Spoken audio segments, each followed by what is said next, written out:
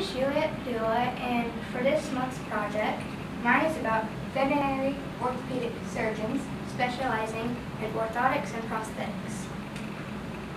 So first of all, what is a veterinary orthopedic surgeon? A veterinary orthopedic surgeon specializes in surgeries to fix injuries and treat diseases in the bones, joints, ligaments, and tendons. So what are orthotic and prosthetic differences?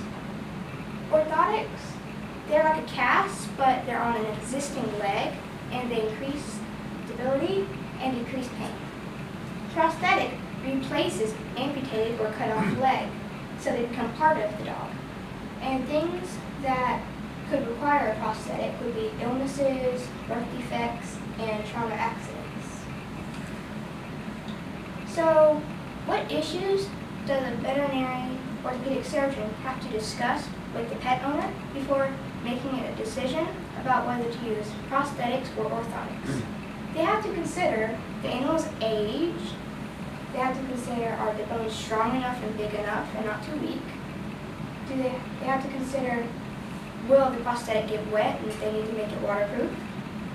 Will they need to consider they need to make sure it's comfortable so they don't cause the animal any more pain, because that's not what they're trying to accomplish.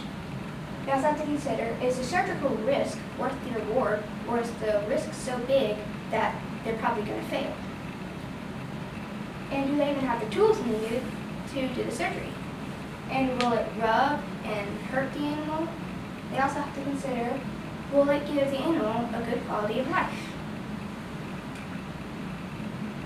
I think this veterinary orthopedic surgeon is really interesting. His name is Noel Fitzpatrick. His in his college, he went to the University of Dublin in Ireland, and he currently practices in England. He owns two hospitals, and they both specialize in neurosurgery, which is a study about how the nerves work, and orthopedics, which is studying about how the bones work. And in 2009, he became the first to apply two prosthetic back legs to a cat and succeed. And Oscar is the cat he did it on.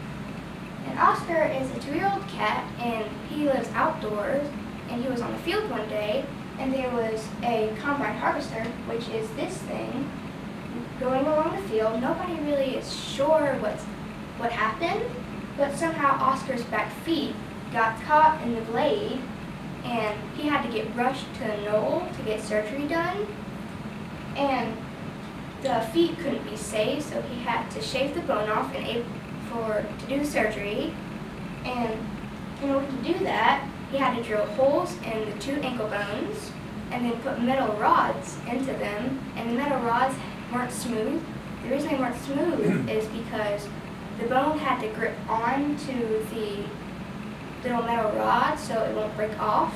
And then after that healed, he put on prosthetic legs and they looked like bottle, bottle stoppers. After that, Oscar couldn't be an outdoor cat because he wasn't as fast as he used to be, so he couldn't escape from predators easily. Now I want to introduce a mechanical engineer named Derek Campana. The reason I picked him for my next slide is because if him and Noel work together as a team, they would do really good because Derek does the, he makes the prosthetics and orthotics, and Noel does the surgery. Derek originally went to school for human prosthetics, and one day his friend that was a veterinarian came to him with a dog that needed a prosthetic leg, and asked him, could you make a prosthetic leg for this dog? And Derek said that he, he'll try, but he doesn't really know how to. So he tried and succeeded, and then he made his own business. 90% of his patients are dogs, but he also works on farm animals, and he even worked on two elephants that stepped on landmines. His, his devices are made from mechanical grade plastic and foam, and on average, one device costs about $500 to $1,200. Veterinarian, pet owners, and rehab facilities around the world send him plaster molds made from limb casts.